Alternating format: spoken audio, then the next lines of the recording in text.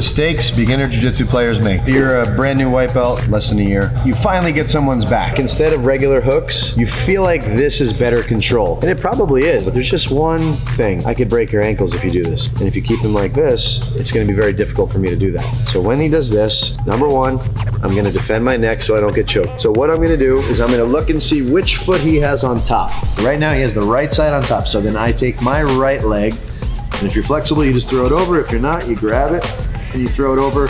I would say it to that little ball on your heel, right about to there, or slightly above it. Once I lock that, I come up and I make a triangle and I put my foot on the floor. Check your neck, squeeze your knees together, and slowly, slowly, slowly when you're training this, raise your hips. And what it's gonna do is it's gonna basically pop his ankle. Without locking, he can just pull both of his feet out. So what some people do, if the person's not crossing, they'll try to make them cross, something like this. And then I'll come over. So be careful when you have the back, white belts. Don't let them make you do it, and definitely don't do it yourself. Take your jiu-jitsu to the next level, go to mattarroyo.com.